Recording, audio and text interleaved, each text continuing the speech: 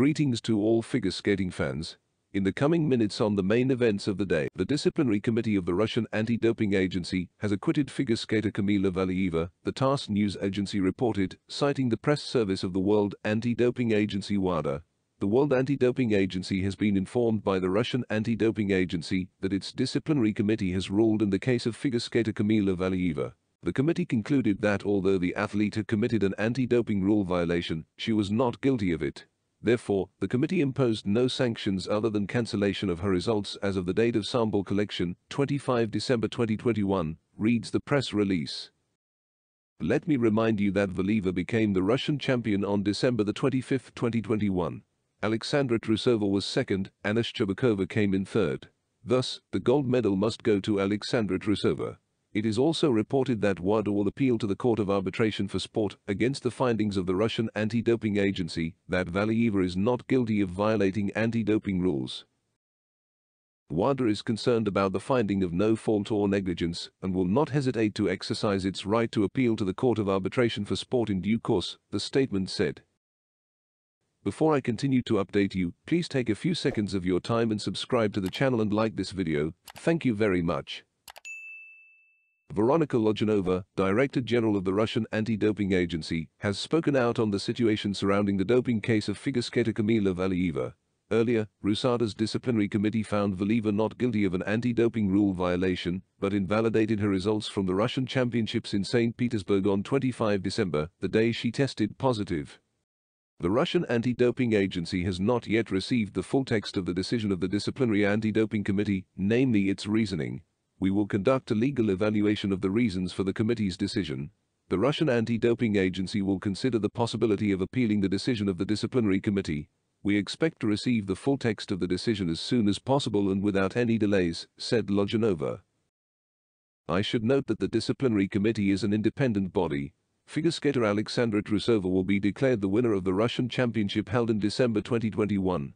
Kamila Valieva's results of December the 25th, 2021, are to be annulled, and on that day Valieva became the Russian champion.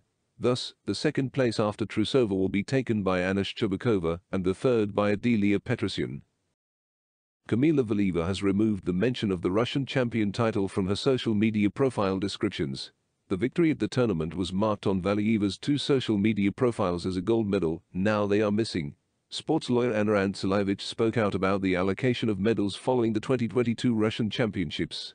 After the decision of the Disciplinary Anti-Doping Committee, Trusova automatically becomes the winner of the Pre-Olympic Championship of Russia, and she will be at least until the end of all appeal procedures if appeals against the decision of the disciplinary committee come to the Court of Arbitration for Sport from WADA, ISU or the Russian Anti-Doping Agency. The decision of the Disciplinary Anti-Doping Committee can only be appealed to the Court of Arbitration for Sport, as Valieva is an international athlete.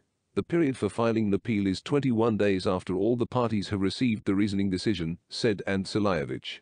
Olympic champion Svetlana Zhurova spoke out about the doping case of Russian figure skater Kamila Valieva. These are interim decisions, everyone understands that, and most likely, in the end everything will be decided in court. But if earlier foreign lawyers could defend us and it led to good results, now it will be more difficult many of them are forbidden to do so. On the other hand, it is important that the disciplinary committee took this particular decision. The position is clear and formulated on an evidentiary basis. Next, most likely, it will be considered by WADA, and we understand that they will try to win this situation back in their own way, Zhurova said. Three-time Olympic figure skating champion Irina Rodnina commented on the decision of the RUSADA disciplinary committee to acquit Kamila Valieva. Valieva's acquittal is positive news, but we need to wait for further action and the decision of the Court of Arbitration for Sport. There is hope that our guys will be given gold medals in the team event. We should not forget that it was the Court of Arbitration for Sport that allowed Valieva to skate at the Beijing Olympics. As for the investigation by the Russian anti-doping agency, it was conducted behind closed doors, so it's not surprising that we don't know the details, Rodnina said.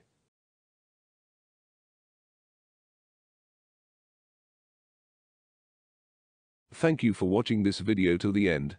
Subscribe to the channel, do not forget to like it and give your opinion in comments. See you soon.